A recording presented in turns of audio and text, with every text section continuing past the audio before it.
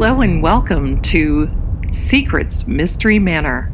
I'm your host, Psychic Zelda Kelly.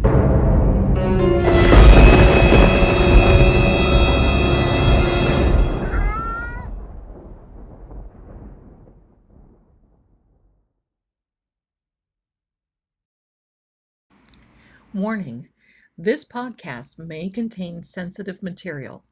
It is intended for mature audiences only. Viewer and listening discretion is advised. Hello, everyone, and welcome, welcome to the podcast. I'm your host, Zelda Kelly, and today we have another Halloween edition. That's right, and this one is very exciting. I love this one, and I know that you will too. It was a unanimous vote in my Facebook House of Zelda group that we do, we talk about, we perform a new recording for you about our friend the werewolf. Friend, yes. Why a friend? Well, because he has been with us through the centuries. Now, he's not really been a good friend. I can tell you that. Because he will eat animals and people alike. Yikes. But imagine, stay with me now. We're in the castle together. Yeah, that's right. I said castle. We're in the castle together. And it is a full moon, a big, bright, little cast of yellow full moon. We're watching outside. We are amazed at how this moon is illuminating the grounds of the castle. It's a cool night, and the clouds are kind of drifting by. You can see the silhouettes from the light of the moon. And all of a sudden, we hear a howling. Now, this isn't your normal wolfy dog howling. This is the howling of a man changing into a werewolf. Now, here's something that you can really imagine. You hear the crackling of the breaking of the bones while this man turns into this werewolf. He now is over six foot four. He's heading to the seven foot category. There's dark, thick hair and fur that's growing all over him. His feet now are changing to that of a wolf. His back legs look where he doesn't have a human doesn't have back legs but now they resemble a back legs because he's going to start running on all fours. His hands now are growing claws. Mm. his face now is pushing out and he has a snout. Lots of sounds coming from the background because the forest is quiet and scary and the wind is blowing and there's all kinds of movement in the forest now because they know they have to get away. They smell it. This werewolf now is on the prowl. He's on the hunt for anything that's moving, anything that he can grab, anything that he can gnarl his canine teeth into. He'll grab the first animal and shake it until it's dead and consume it with just minutes. And he continues to do the same throughout the night. Stay out of his way, ladies and gentlemen, because the werewolf will come to you and he will have no regret or no remorse at that particular time of attacking a human being. Now, the next morning, the man will not remember. He will not remember what had happened. The only thing that he will know is that, well, he's no longer clothed and he'll have to make it back to the castle. You see, we're witnessing all of this through the window in disbelief. Cannot believe our eyes what we've just seen. And we cling together because we hope and pray this werewolf does not come in to the castle. He will break down the doors and he will find us through his keen sense of smell. You get the picture. When I was a little girl, I, I loved this movie and still today love this movie. The 1941 Universal Studios The Wolf Man. Now, no one had really ever seen on film anything like this. This was kind of the first of its own kind. Lon Chaney Jr. played the main character who turned into a wolf only after he was bitten by a gypsy man. And they actually, he and a couple of young lady friends went to see this gypsy psychic. Yes, yes, I know. And went to see her. She did a reading for them, but she looked at him and thought, oh no, He's the next one on the list. Check him off. Goodbye. I'm not going to give away the, the whole movie. Most of you have probably already seen it. It's an old black and white movie, and the special effects for that time were really pretty cool.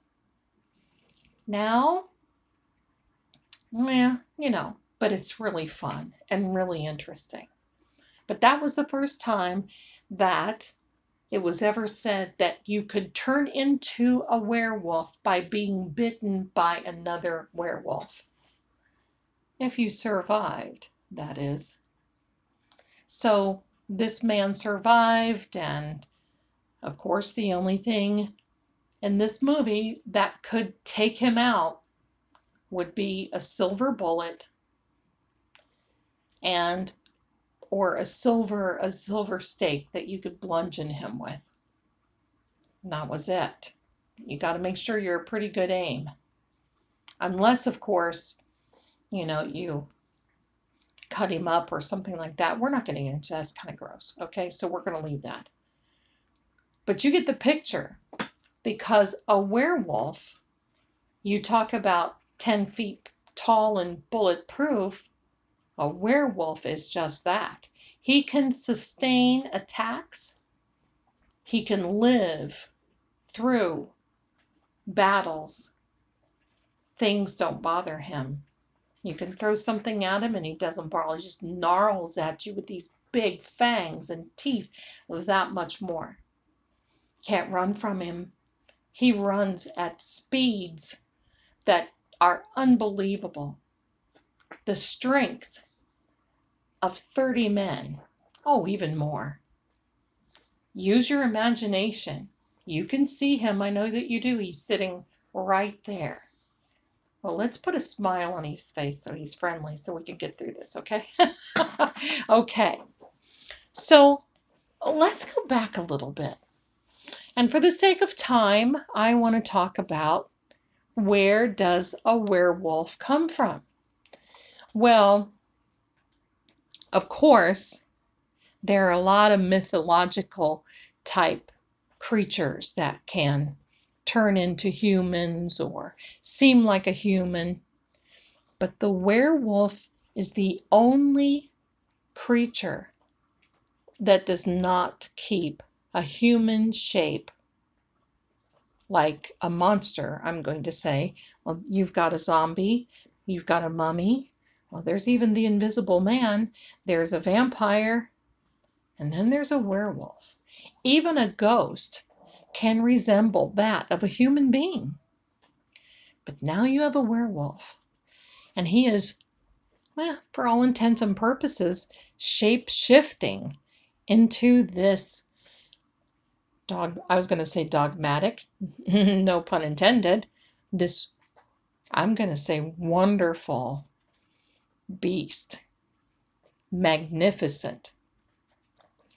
You know, the definition of the werewolf is definitely common knowledge. We all know that. We know that a wolf man, a werewolf, and the werewolf that comes from the German language is W E R W O F. It's Werwolf in German.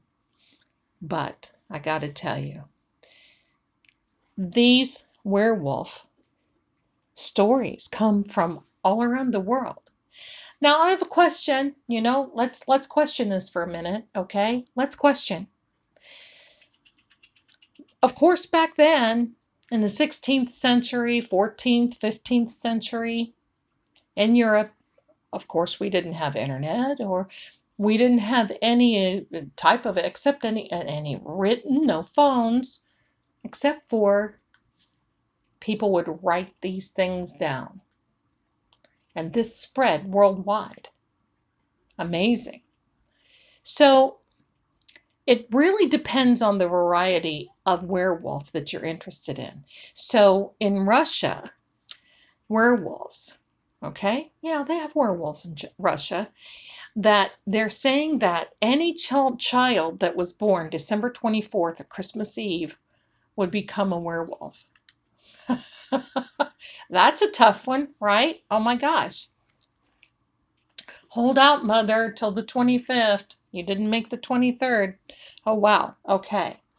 So the Russians also believe that you are a man or a woman could be a werewolf, and that you would turn into a werewolf if you offended God, and the werewolf that you had turned into would be your punishment. Hmm, that's scary. Better look out. If you're in Sweden in the 16th century, werewolves were born as men, but were transformed by drinking a magic cup of beer and saying a special chant. now, side trip here. I know many who have had that magical cup of beer and had that chant, and they turn into many things, as we know, but who knows? Werewolf, yes. Okay. So, other places in Europe, France, Germany, any man or woman could turn into a werewolf. And sometimes it was said that it, you could accomplish this if you slept outside on a Wednesday or a Friday, and if the full moon shined directly on the person's face for the whole entire night, the person would be transformed. Yikes. Um, there's other methods, of course, of becoming a werewolf, and some are culture, some are legendary, some are, you know, who, who knows. Some of the oldest types of transformations that you could turn into that's been documented and recounted as legend, allegedly a werewolf, is that if you took off all of the all of your clothes and you instead put on the skin of a whole wolf, and if you got the right wolf and the magic happened, you could turn into a werewolf. yeah, that's kind of messy. And if you didn't like that, then if you wore a belt that was made out of the wolf's hide, you too could turn into a werewolf. Now, there's another thing, another way of transforming if you're interested. You could take a sip of water out of the footprint of a werewolf. So I guess all this has to happen organically. There's the footprint of a werewolf. You have to know, you have to label it as a werewolf. You got to make sure that there's natural or you know that it all happens like it's raining or dew. You get the picture. Okay? So lastly, the other way that you can make a werewolf is if mommy werewolf and daddy werewolf get together, then you can have a baby werewolf. so, you know, that that's interesting. So as we have gone through time, Hollywood, pictures, books, the werewolf has probably been one of the most celebrated I'm going to say monsters. I don't like to call him a monster, but I guess he is, okay? He's been one of the most celebrated of all the monsters. And I think the top three are a werewolf, a vampire, and a mummy, which is kind of like slash the zombie thing, but you get it. I've always been intrigued by the werewolf. I don't know what it is. I've just always been intrigued by this. And it's it's very interesting because some of you that know me know that I have an old digital library and I had to have these books put on a digital format because a lot of them are falling apart and some were from the 1500s. So I was looking doing some research for this podcast, and I found in my encyclopedia of occultism, of occultism rather, and this was copyrighted and printed in 1920, so it is now 101 years old. Wow. So in this book, it talks about werewolves. And it talks about vampires and werewolves. This is one of the most interesting encyclopedias of occultism. And when I say that, I'm not saying that, you know, this is anything devil worship or anything like that. No, no, no. That was a name back then that they had for this. Now it turned from occultism into, I suppose, New Age. That's another subject. But it talks about psychic ability, it even talks about demonology. It talks about a lot of different things. And I was able to find the section on werewolves. Now, the study of werewolves, let me see if this I can say this correctly, is lycanthropy, lycanthropy, whatever, lycanthropy. Okay, that's it. A Lycan. There you go. You know it by the underworld, right? So, this is interesting. I don't know why I couldn't say that word, but you get it. Okay, get a little laugh. So now we get to see some kind of older stuff on this, right? So we're going to put this Hollywood aside. I want to put the Hollywood aside. And now um, there we go. Okay, so I want to read a little bit. This is from the Encyclopedia of Occultism. And it says a man temporarily or permanently transformed into a wolf from the Anglo Saxon ver, which is W E R, a man, and the wolf, W U L F. And I said that was Germanic, and that is also. Um, from the, uh, yeah, I read that. Okay, it is a phase of lycanthropy. Ah, okay. And in ancient and medieval times was a very frequent occurrence.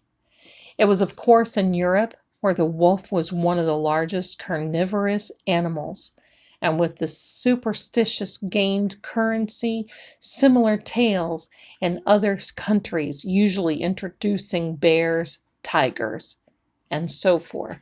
They had the bears and tigers in the country of India.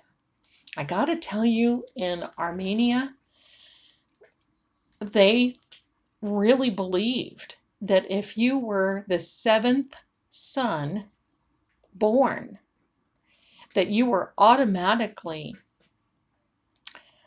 uh, born a werewolf. And a lot of these families would not allow the seventh son to live. I mean, that's very sad and very unfortunate that this really was taken so seriously. I guess so back then. Um, because even if a wolf would attack sheep or something like that, or even a human, like the wolf an animal, they would think that it would be a werewolf. So in 1920 in Armenia, the president declared that there were no more werewolves in that country. Now, isn't that interesting? No more werewolves. And so now, you would think, you know, I got to say this in 1920, that's not very long ago. Hmm, that kind of gets to you a little bit, doesn't it? All right. So now we have all types of different werewolves now, okay? There are two kinds of werewolves, though, that really, really stand out. There's the voluntary and there's involuntary. And the voluntary would be those people who, because of their taste for human flesh and withdrawn from their fellows and their, their other peers and other people around them, would appear to have a certain amount of magical power and or at least sufficient enough to transform themselves into an animal shape at will. So that would be a shapeshifter. They would be affected by merely disrobing and taking off a girdle made of human skin or putting on a similar belt of wolf skin obviously a substitute for an entire wolf. Yikes, that's crazy. But involuntary werewolves were often those persons transformed into an animal shape because of the commission of sin and condemned to pass so many years in that form.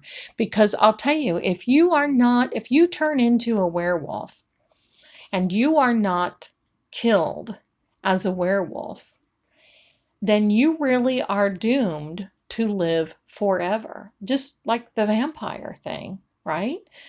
That's scary in its own self. So so now they're saying if you turn against God, that all of this. So I'll tell you what. Um and it talks about here in this one book in Arminius thought that a sinful woman would be condemned to pass seven years in the form of a wolf. And such a woman, a demon appears and bringing a wolf skin and commands her to put it on. And the moment that she does, she becomes a wolf. And with all her nature of a wild beast, devouring her own children and those of strangers wandering forth through the night. And my goodness, that's that's horrible. But you know, here's the funny thing. There's a really romantic side of this werewolf story because in France, especially in France, werewolf, werewolves, werewolf, werewolf, okay, we can do this. Werewolves were one of the most remarkable instances of love stories well, the French do it the best, right? Well, what can we say? What can we say? But right now, we're going to do what we do best, and we're going to break for this very special commercial message. We'll be right back. Stay tuned. Hello, everyone. This is your friend Zelda Kelly at Extension 11 at PsychicSecrets.com. Are you tired of sniffing around every corner for answers? Does it just seem like a daily task that you're barking up the wrong tree constantly? Well, come on over to psychicsecrets.com. That's psychicsecrets.com. There, you can get a reading that you can really sink your canines into. Are you tired of howling at the moon, or barking in the wind, well, weep no more because you've come to the right place. You can book online with an advisor, you can chat with an advisor, and you can also have a video call with an advisor. How exciting! So come on over there, say hello, stop by, read our blog, listen to our previous podcasts. We'll be glad to talk with you, help you, And I know that you'll be so glad that you did. So stop baying at the moon, okay? Come on over, and we'll talk to you very soon. Bye for now. Hello, and we're back. Thank you so much for allowing us to pause for that very important break. okay, I missed you. All right, let's continue our talk on the werewolf. Now, our buddy the werewolf also accompanied the witch trials. They had werewolf trials, if you can believe that. Uh, I do. I do believe it. You know, people when they get scared, um, they they need that projection to. Uh, okay, we're not going to get into the psyche of all that, but I do believe that, and you know, there there was a very very very famous case, and that was back in. Uh, let's see. Actually, this is very interesting. The most famous case was that of a German farmer. His name was Peter Stumpp. S T U M P P, Stumpp, um, who was accused of werewolvery, witchcraft, cannibalism, and a whole plethora of things that you should not do. Evil.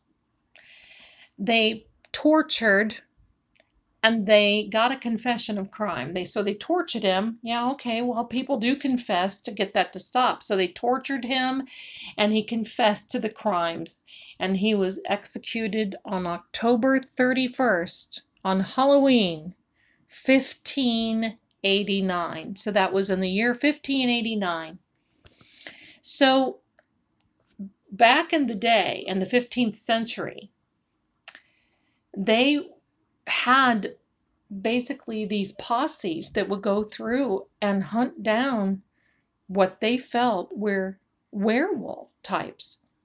If there was any type of loss of livestock or anything like that, they would they would all gather and they would try to um, kill off what they thought were werewolves or pack of werewolves. So during the 15th century, a lot of that happened, but it really started phasing out during the 18th century. And so what they did was they started persecuting the werewolves and associated all of those with that type of folklore. And they wrapped it all up and they went into that witch hunt phenomenon. So a lot of very innocent people lost their lives. It was witches, people who thought they were witches, which they were not, and people who thought there were werewolves, which they were not. And unfortunately, you know, those things happen in our history, and we can't do anything to rectify that or make that any better. But here are some very important scientific explanations. Clinical lycanthropy. Oh, I said that good, didn't I? Wow. All right. Clinical lycanthropy is a rare disorder. And some people believe that they can become animals or mostly wolves, and it has a symptom of schizophrenia. So now it's a mental disorder. People believe that. And they can actually hallucinate and really believe that they can turn into a werewolf. Hypertrichnosis is an excessive hair growth condition. So that didn't help matters any. You see people that had this, and especially back at the turn of the century, they would put a lot of these people into these circuses. It was very unfortunate and very, very horrible for them. Um, but that's also, so it was hypertrichosis. I said that wrong the last time. most sorry there for that. So we have a lot of that happening, okay? And then the werewolvery thing kind of died down after 1941. Yeah, I was around. Lon Chaney Jr., he did a great job. Then there were the Hammer films of uh, Hammer Productions in the UK, and those were really fun. Oh, that whole group of Hammer films, you know, they came out with The Mummy and several of uh, vampire films that were eh, really they were budget. They were literally b movie types. But peter cushing and christopher lee and boris karloff made those films. Man oh man they were great films. To this day one of the one of my favorite from the hammer studios is the mummy from 1954 starring Boris Karloff as the mummy, but Peter Cushing, oh, he was my favorite actor from Hammer Films. Anyway, back to the werewolf.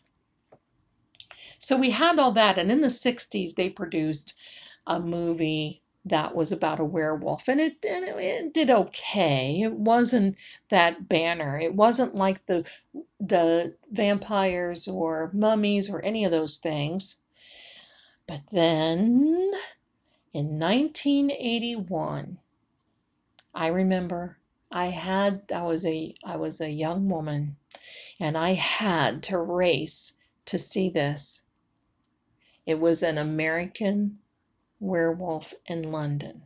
I have never seen anything like that before. Even the picture, even the photograph for the movie of those two young men looking behind them. Oh, wow. the transformation scenes, they were all mechanical. A lot of them were mechanical because they didn't have the special effects that we do now. They were terrific. That movie started the craze. And then, of course, we had all this about Van Helsing. And then we had more werewolves. And then we had the Lycans and the vampires were getting together and falling in love. And then we had, you know, all types of different movies. Underworld, that was a good one, had vampires and werewolves in. And of course, the Twilight series. I, are, were, were, was Jacob considered a werewolf? Well, I guess so. I just kind of like that whole Indian tribal American, yeah, mess with me, I turn into this werewolf and we'll take you all out type of idea, right? I loved that. That was one of the coolest things I think that we've seen on film for transformations from a human being into a werewolf. So there you have it, my friends a brief and concise history of, I'm going to try to say it again, lycanthropy. Not too bad, right? Anyway, of werewolvery. And I, I'm interested to hear how you feel about this. I do know some people who feel that they, at some time, have heard a vampire, I'm sorry, not a vampire, a werewolf baying at the moon. I don't know, a lot of these animals, they can sound big, bad, and dangerous, right? So write down below, write to us, tell us how you really think. And I hope you enjoyed this podcast because I really enjoyed bringing it to you. And we're going to continue our Halloween October series of monsters. And next week, we'll see what happens. But before we go, I want to invite you all over to my Facebook group, House of Zelda. We have a lot of fun over there, and Psychic Secrets have allowed me to partner with them at House of Zelda, and we run specials like five minutes for free. We have 10 minutes for $9.99. Wow, those are great specials. You can get a lot accomplished in 10 minutes. And if you're a first time caller, call in you get 30 minutes at $1 per minute rate. That's unheard of. Well, only until now, obviously. so come on over and book with one of us. I'm extension 11. You're more than welcome to book with me. I'd love to talk with you. I love to bring you this information. We talk about the paranormal in my group. We talk about psychic phenomenon and we really have a lot of fun. So come on over, join and take advantage of those specials that we put out there for you. And I want to thank Psychic Secrets, that's www.psychicsecrets.com, for sponsoring this podcast. We have a lot of fun and we upload every Saturday. So until next Saturday, don't be out there baying at the moon because you just never know. Bye for now. So, this was a very, very famous poem that was written exclusively for the Universal Wolfman from 1941. It is said that wolfsbane is an herb that can actually cure you from becoming a werewolf. It can protect you with as an amulet or as a talisman. I think this is very interesting. But I love this. This is my favorite part of the movie. Thanks again. Even a man who is pure in heart and says his prayers by night may become a wolf when the wolfbane blooms and the autumn moon is bright.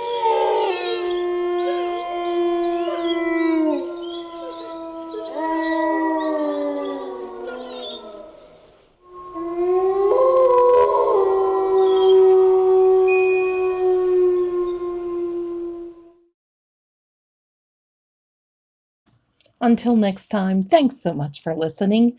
I just love this, don't you?